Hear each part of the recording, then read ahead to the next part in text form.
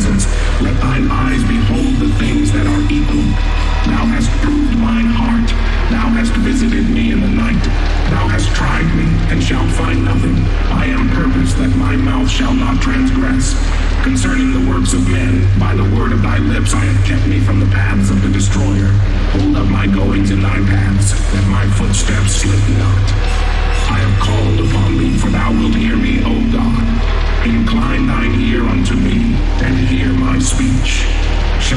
marvelous loving kindness, O thou that savest by thy right hand, them which put their trust in thee from those that rise up against them. Keep me as the apple of the eye, hide me under the shadow of thy wings, from the wicked that oppress me, from my deadly enemies who compass me about. They are enclosed in their own fat.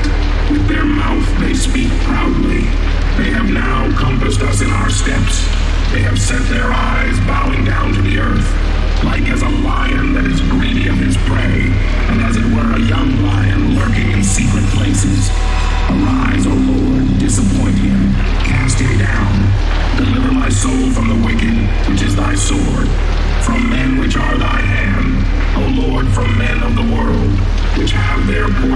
this life, and whose belly thou fillest with thy hid treasure.